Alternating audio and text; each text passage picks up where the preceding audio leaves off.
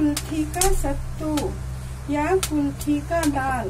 कुल्थी का दाल या सत्तू खाने से पथरी में आराम मिलता है, पथरी नहीं होता है।